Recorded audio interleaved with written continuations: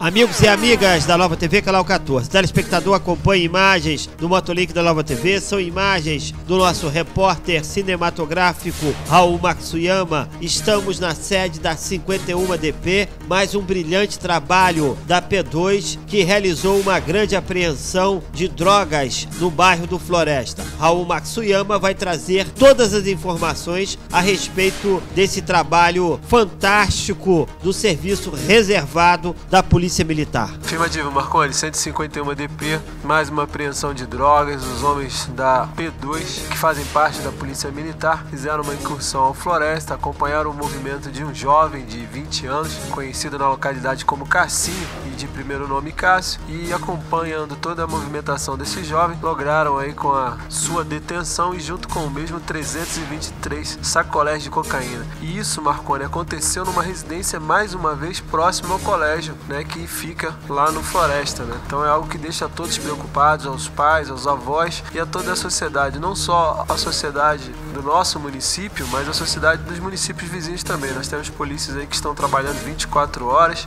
buscando retirar esses indivíduos aí de má índole de nosso meio, do seio da nossa sociedade, mas infelizmente alguns jovens aí se sentem atraídos por essa atitude negativa que é o tráfico de drogas, como é o caso do Cássio, né, Marconi? Telespectador, então mais uma vez acompanha essas imagens do nosso Motolink e Raul Matsuyama, a Catarina do bairro Maria Tereza, faz a seguinte pergunta: Gostaria de saber a quantidade da apreensão do número de sacolés e bem como se é verdade que vem com propaganda esses sacolés a respeito da Copa do Mundo. Afirmativo, Catarina. Infelizmente, né? Sim, existe uma propaganda relacionando a droga à Copa que acontece aqui no Brasil, começando com o jogo do Brasil contra a Croácia. E em relação à quantidade, são 323 sacolés de cocaína, uma quantidade bastante expressiva e algo que nos deixa muito tristes, né? Catarina, que é internauta, ela é um dos milhares e milhares de internautas que acessam diariamente o portal da Nova TV. Então, o nosso Raul Matsuyama esclarece que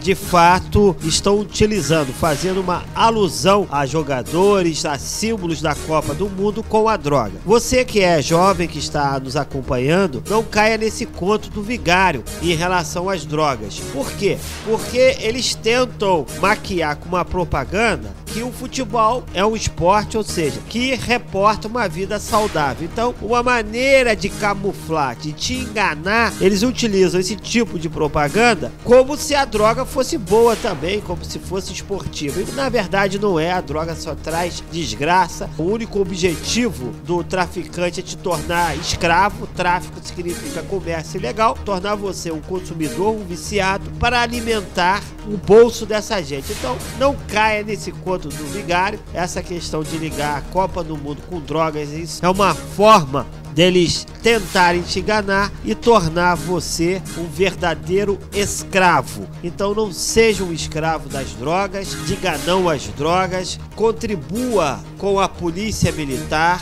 realizando denúncias pelo 190, o trabalho da P2, que tem o Tenente Castro, e no comando nós temos o Tenente Espanha, ambos realizando um trabalho de excelência em nossa cidade. Então vamos retirar esse câncer no meio da sociedade. Para isso, a gente precisa colaborar com você, telespectador, ligando 190, fazendo a sua denúncia. Isso com certeza você estará ajudando aquele que está no meio das drogas para que ele saia desse descaminho e também estará protegendo a você, os seus vizinhos, seus parentes contra esse grande mal do nosso século que são as drogas. Uma coisa que eu percebo depois das matérias que a gente vem constantemente apresentando, trazendo informações ao telespectador da Nova TV é a questão do crack. Há bastante tempo a gente não vê apreensão de pedras de crack. Isso demonstra uma certa consciência daqueles que consomem droga, porque o crack, na maioria das vezes, é um caminho sem volta. A apreensão vem se concentrando em termos de cocaína e maconha.